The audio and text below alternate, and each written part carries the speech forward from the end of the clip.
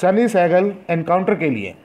Voter सूची के आते ही इस पर एतराज़ों का बोझ बढ़ने लगा है। सबसे पहला एतराज़ पूर्व senior deputy mayor Kamaljit Bhatia ने जताया। है डिप्टी रजिस्ट्रार को शिकायत देते हुए भाटिया ने कहा है कि वार्ड 45 में जो पहले वोटर सूची जारी हुई थी, उसमें भारी फेरबदल किया गया इस बारे में आइए देखें कमलजीत भाटिया ने क्या कहा। ਇਤਰਾਜ਼ ਅਸੀਂ ਠੀਕ ਚੈੱਕ ਕਰਵਾਏ ਗਏ ਸੀਗੇ।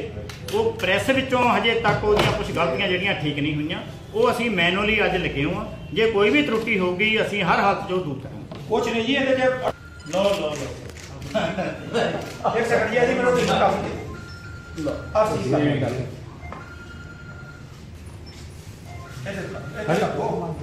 ਉਹ ਨਹੀਂ ਮੰਗ ਪਤ ਨਹੀਂ ਹੈ। ਮਾਂ ਕੋ ਪਤਾ ਨਹੀਂ ਜੀ? ਉਹ ਭਾਈ ਸਾਹਿਬ ਉਹ ਬੀਐਲਓ ਨੇ ਉਹ ਮੈਨੂੰ ਪੁੱਛ ਰਹੇ ਨੇ ਯੂਨੇ ਬਾਰੇ ਕੋਈ ਮੰਗ ਪੱਤਰ ਹਾਂਜੀ ਭਾਟੀਆ ਜੀ। ਮੇਰੀ ਧਰਮ ਪਤਨੀ ਜਸਪਾਲ ਕੌਰ ਪਾਟਿਆ ਜਿਹੜੇ ਕਿ ਵਾਰਡ ਨੰਬਰ 45 ਦੇ ਵਿੱਚ ਬਤੌਰ ਉਮੀਦਵਾਰ ਨਗਰ ਨਿਗਮ ਚੋਣਾਂ ਲੜਨ ਜਾ ਰਹੀ ਹੈ। ਬਹੁਤ ਇਸ ਗੱਲ ਦਾ ਦੁੱਖ ਲੱਗ ਰਿਹਾ ਕਿ ਇਤਰਾਜ਼ ਮੰਗਣ ਤੋਂ ਬਾਅਦ 20 11 ਨੂੰ ਜਿਹੜੇ ਕਿ ਡੀਆਰਓ ਸਾਹਿਬ ਨੂੰ, ਸੰਤੋਖ ਲਾਲ ਜੀ ਨੂੰ ਇਤਰਾਜ਼ ਦਿੱਤੇ ਸੀਗੇ ਕਿ ਵਾਰਡ ਨੰਬਰ 45 ਦੀਆਂ ਜਿਹੜੀਆਂ ਵੋਟਾਂ, ਵਾਰਡ ਨੰਬਰ 46 ਦੇ ਵਿੱਚ ਬਾਗ ਆਲੂ ਵਾਲੀਆ ਮਹੱਲੇ ਦੀਆਂ ਵੋਟਾਂ ਜਿਹੜੀਆਂ, ਵਾਰਡ ਨੰਬਰ 46 ਚ ਐਡ ਕੀਤੀਆਂ ਗਈਆਂ ਔਰ ਉਸ ਤੋਂ ਬਾਅਦ ਜਿਹੜਾ ਵਾਰਡ ਨੰਬਰ 46 ਦਾ ਕੋਟ ਮਹੱਲਾ, ਉਸ ਤੋਂ ਬਾਅਦ ਮਜੀਤ ਨਗਰ, ਨਿਊ ਦਿਲਬਾਗ ਨਗਰ, ਪੰਚਵਟੀ ਮੰਦਰ ਬਿਰਦੀ ਕਲੋਨੀ ਜਿਹੜਾ ਕਿ ਮੇਰੇ ਵਾਰਡ ਦਾ ਇਲਾਕਾ ਨਹੀਂ ਪੈਂਦਾ, ਉਹ ਵਾਰਡ ਨੰਬਰ 46 ਦਾ ਹਿੱਸਾ ਪੈਂਦਾ ਔਰ ਬਕਾਇਦਾ ਉਹਦੇ ਵਿੱਚ ਨੋਟੀਫਿਕੇਸ਼ਨ ਦੀ ਕਾਪੀ, ਨਕਸ਼ਾ ਹੱਦਬੰਦੀ ਇਹ ਸਾਰੇ ਇਤਰਾਜ਼ ਜਿਹੜੇ ਆ, ਦੇਣ ਦੇ ਨਾਲ ਇਹ ਸਾਰੀਆਂ ਕਾਪੀ ਨੱਥੀਆਂ ਕੀਤੀਆਂ ਗਈਆਂ। ਔਰ ਉਹਦੇ ਨਾਲ ਨਾਲ ਜਿੱਥੇ ਉਹਦੀਆਂ ਕਾਪੀਆਂ ਨੱਥੀ ਕੀਤੀਆਂ ਗਈਆਂ, ਉੱਥੇ ਵੋਟਰ ਲਿਸਟ 45 ਅਤੇ 46 ਦੀ ਦੋਨਾਂ ਦੀ ਨਾਲ ਕਾਪੀਆਂ ਲਗਾਈਆਂ ਗਈਆਂ। ਅੱਜ ਕਿਉਂਕਿ ਕੱਲ ਸਰਕਾਰ ਨੇ, ਜਿਹੜਾ ਕਿ ਇਲੈਕਸ਼ਨ ਕਮਿਸ਼ਨ ਨੇ ਇਲੈਕਸ਼ਨ ਅਨਾਉਂਸ ਕੀਤੇ ਆ, ਉਹਦੇ ਵਿੱਚ 17 ਤਰੀਕ ਦੀ ਜਿਹੜੀ ਹੈ ਨੋਟੀਫਿਕੇਸ਼ਨ ਕੀਤੀ ਗਈ ਕਿ 17 ਤਰੀਕ ਨੂੰ ਨਗਰ ਨਿਗਮ ਦੇ ਚੋਣ ਹੋਣ ਜਾ ਰਹੇ ਨੇ। ਪਰ ਬੜੇ ਦੁੱਖ ਦੀ ਗੱਲ ਆ ਕਿ ਜਿੱਥੇ ਸਰਕਾਰ ਇਸ ਕੰਮ ਲਈ ਬਹੁਤ ਕਾਹਲੀ ਹੈ ਇਲੈਕਸ਼ਨ ਕਰਵਾਉਣ ਲਈ ਉੱਥੇ ਅੱਜ ਪਹਿਲੀ ਤਰੀਕ ਹੋ ਗਈ ਹੈ ਤਕਰੀਬਨ ਸਮਾਂ ਇਸ ਵਕਤ 2 ਵੱਜ ਚੁੱਕੇ ਆ। ਜਿੱਥੇ ਇਤਰਾਜ਼ ਅਸੀਂ ਦਿੱਤੇ ਸੀਗੇ, ਅੱਜ ਪਹਿਲੀ ਤਰੀਕ ਨੂੰ ਬਕਾਇਦਾ ਕੱਲ ਨੋਟੀਫਿਕੇਸ਼ਨ ਤੋਂ ਬਾਅਦ ਕੱਲ 2 ਤਰੀਕ ਨੂੰ ਨੋਮੀਨੇਸ਼ਨ ਦੇ ਫਾਰਮ ਭਰੇ ਜਾਣੇ ਆ।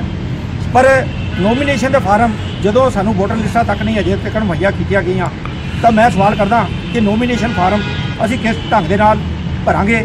ਕਿਉਂਕਿ ਹਲੇ ਤੱਕ ਦਾ ਵੋਟਰ ਲਿਸਟਾਂ ਦੇ ਵਿੱਚ ਦਰੁਸਤੀਆਂ ਨਹੀਂ ਕੀਤੀਆਂ ਗਈਆਂ।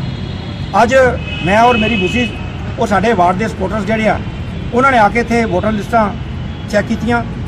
ਜੋ ਅਸੀਂ ਇਤਰਾਜ਼ ਦਿੱਤੇ ਸੀਗੇ, ਉਹਨਾਂ ਇਤਰਾਜ਼ਾਂ ਨੂੰ ਦੂਰ ਕਰਨ ਦੀ ਬਜਾਏ ਉਹੀ ਇਤਰਾਜ਼ ਜਿਹੜੇ ਆ ਨਵੀਆਂ ਵੋਟਰ ਲਿਸਟਾਂ ਦੇ ਵਿੱਚ ਜਿਹੜੀਆਂ ਸੁਧਾਈ ਹੋਈਆਂ ਵੋਟਰ ਲਿਸਟਾਂ ਸੋ ਕਾਰਡ ਉਹਨਾਂ ਦੇ ਵਿੱਚ ਐਜ਼ ਇਟ ਇਜ਼ ਉਹ ਵੋਟਾਂ ਪਾਈਆਂ ਗਈਆਂ।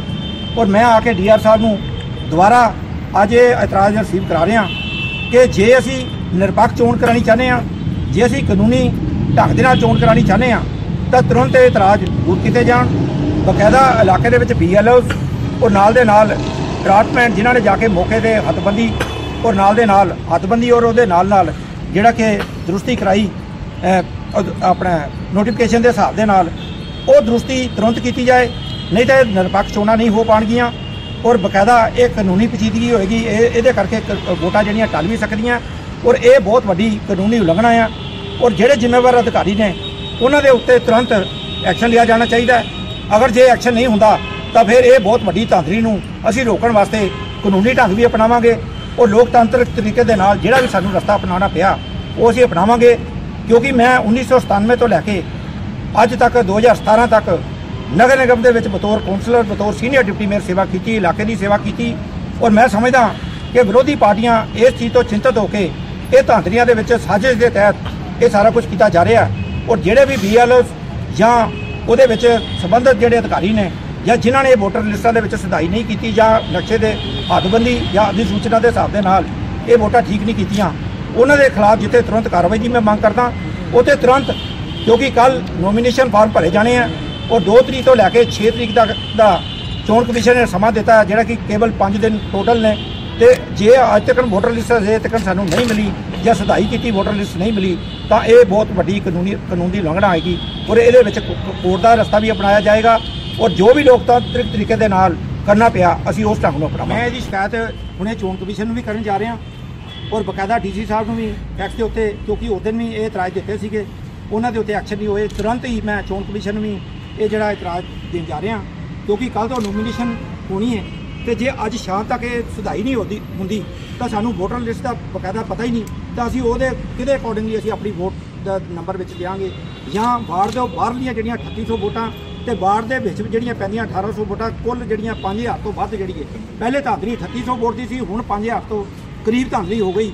ਵੋਟਾਂ ਸੁਧਾਈ ਕਰਨ ਦੀ ਬਜਾਏ ਹੋਰ ਵੋਟਾਂ ਜਿਹੜੀਆਂ ਇਹਦੇ 'ਚ ਗਲਤ ਢੰਗ ਦੇ ਨਾਲ ਐਡ ਕੀਤੀਆਂ ਗਈਆਂ, ਇਹਦੇ ਤੇ ਤੁਰੰਤ ਐਕਸ਼ਨ ਨਾ ਲਿਆ। ਤਾਂ ਸਾਨੂੰ ਜਿਹੜਾ ਵੀ ਕਾਨੂੰਨੀ ਤੌਰ ਤੇ ਰਸਤਾ ਤਿਆਰ ਕਰਨਾ ਪਏਗਾ ਜੇ ਇੱਥੇ ਧਰਨਾ ਮਾਰਨਾ ਪਿਆ ਐਜੀਟੇਸ਼ਨ ਕਰਨੀ ਪਈ ਤਾਂ ਮੈਂ ਬਿਲਕੁਲ ਇੱਥੇ ਬਕਾਇਦਾ ਇੱਥੇ ਦਫ਼ਤਰ ਦੇ ਬਾਹਰ ਅ, 45 ਨੰਬਰ ਵਾਰਡ ਦੀਆਂ ਵੋਟਰ ਲਿਸਟ ਮੈਂ ਅੱਜ ਚੈੱਕ ਕੀਤੀਆਂ ਨੇ ਤੇ ਜਿਹੜੇ ਇਤਰਾਜ਼ ਦਿੱਤੇ ਸੀ ਉਹ ਸੇਮ ਦੇ ਸੇਮ ਉਸੇ ਤਰ੍ਹਾਂ ਹੀ ਨੇ। ਨਿਊ ਦਿਲਬਾਗ ਨਗਰ ਮਨਜੀਤ ਨਗਰ ਕੋਟ ਮਹੱਲਾ ਵਿਰਦੀ ਕਲੋਨੀ ਪੰਚਵਟੀ ਮੰਦਰ।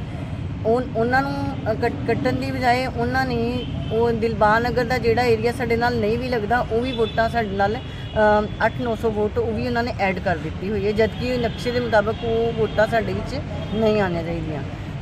ਅਸੀਂ ਤਾਂ ਇਹਨਾਂ ਨੂੰ ਇਹੀ ਗੁਜ਼ਾਰਿਸ਼ ਕਰਦੇ ਹਾਂ ਕਿ ਤੁਸੀਂ ਜਾਂ ਤਾਂ ਲਿਸਟਾਂ ਠੀਕ ਕਰ ਦਿਓ, ਨਹੀਂ ਤਾਂ ਫਿਰ ਅਸੀਂ ਕੋਈ ਨਾ ਕੋਈ ਜੋ ਤਰੀਕਾ ਹੋਇਆ ਕੋਰਟ ਜਾਣਾ ਪਿਆ ਤੇ ਕੋਰਟ 'ਚ ਵੀ ਜਾਵਾਂਗੇ। ਇੰਨੀ ਜਲਦੀ ਸਰਕਾਰ ਜਿਹੜੇ ਇਲੈਕਸ਼ਨਸ ਜਲਦੀ ਤਾਂ ਕਰਵਾ ਰਹੀ ਹੈ ਤੇ ਇਹਦੇ ਵਿੱਚ ਸਰਕਾਰ ਲਈ ਵੀ ਬਹੁਤ ਪੇਚੀਦਗੀਆਂ ਹੋਣਗੀਆਂ। ਉਹਨਾਂ ਨੂੰ ਵੀ ਬਹੁਤ ਮੁਸ਼ਕਿਲਾਂ ਦਾ ਸਾਹਮਣਾ ਕਰਨਾ ਪਏਗਾ। ਇਸ ਲਈ ਸਰਕਾਰ ਨੂੰ ਚਾਹੀਦਾ ਹੈ ਕਿ ਸਾਰੇ ਆਫੀਸਰਸ ਨੂੰ ਹਦਾਇਤਾਂ ਕਰ ਦੇਣ ਕਿ ਬਿਲਕੁਲ ਸਹੀ ਢੰਗ ਨਾਲ ਵੋਟਰ ਲਿਸਟਾਂ ਤਿਆਰ ਕਰਨ। ਅੱਜ ਹੀ ਹੋ ਜਾਣੀਆਂ ਚਾਹੀਦੀਆਂ ਕਿਉਂਕਿ ਕੱਲ ਨੋਮੀਨੇਸ਼ਨ ਦੀ ਫਾਈਲ ਕਰਨ ਦੀ ਪਹਿਲਾ ਦਿਨ ਹੈਗਾ ਹੈ। ਤੇ ਹੋ ਸਕਦਾ ਜੇ ਅਸੀਂ ਸਾਡੇ ਕੋਲ ਵੋਟਰ ਨੰਬਰ ਹੀ ਨਹੀਂ ਹੋਏਗਾ ਤੇ ਅਸੀਂ ਆਪਣੀ ਨੋਮੀਨੇਸ਼ਨ ਕਿਸ ਤਰ੍ਹਾਂ ਫਾਈਲ ਕਰ ਸਕਾਂਗੇ। ਮੈਂ ਤਾਂ ਇਹੀ ਕਹਾਂਗੀ ਸਰਕਾਰ ਨੂੰ ਇਹਨਾਂ ਨੂੰ ਆਰਡਰ ਕਰ ਦੇਣੇ ਚਾਹੀਦੇ ਨੇ ਤੇ ਤਾਂ ਕਿ ਅਸੀਂ ਆਪਣੇ ਆਰਾਮ ਦੇ ਨਾਲ ਆਪਣੇ ਕਾਗਜ਼ ਤਿਆਰ ਕਰਕੇ ਕੱਲ ਫਾਈਲ ਕਰਵਾ ਸਕੀਏ। ਮੈਂ ਵੀ